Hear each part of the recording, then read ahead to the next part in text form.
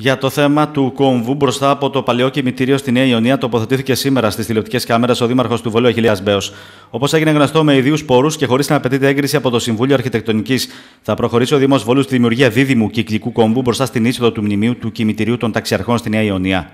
Όπως είναι αυτή η αρχιτεκτονική, που νομούν, νομίζουν κάποιοι αργόσχολοι που συμμετέχουν ότι μπορούν να βάλουν φρένο ε, στα όνειρα, στις φιλοδοξίες, στα έργα και στην εξέλιξη αυτής της πόλης.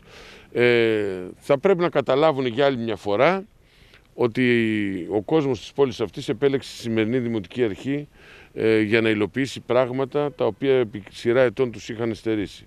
Θα πω λοιπόν ότι ο κυκλικός κόμβος θα γίνει ακόμη και να γυρίσουμε στο 67 να έρθει η Χούντα. Είτε θέλουν είτε όχι. Γιατί είμαι εγώ δήμαρχος, είναι η σημερινή δημοτική αρχή. Και πώς θα γίνει, αν χρειαστεί και δεν το ξεπεράσουμε το πρόβλημα που θα το ξεπεράσουμε γιατί τώρα έχω δώσει εντολή να τους κάνουν μήνυση για παράβαση καθήκοντος σε αυτούς τους, ε, τους τύπους και τις τύπησες εκεί πέρα που δεν ξέρω για ποιο λόγο συμμετέχουν.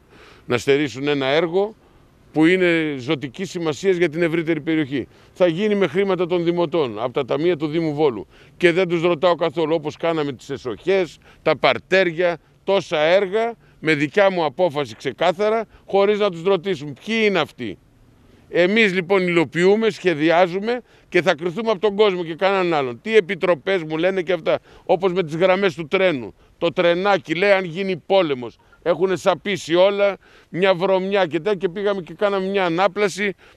Πηγαίνετε μια βόλτα να δείτε. Παράλληλα σήμερα ο κύριος Μπέος επισήμανε αναφορικά με τοποθέτηση της κυρίας Κολυνδρίνη για το θέμα. Θεωρώ άσκοπη και βιαστική την πολιτικού περιεχομένου ανακοίνωση της φίλης αντιπεριφερειάρχη Μαγνησίας κυρίας Δωροθέας Κολυνδρίνη σχετικά με την κατασκευή του κυκλικού κόμβου στη Νέα Ιωνία.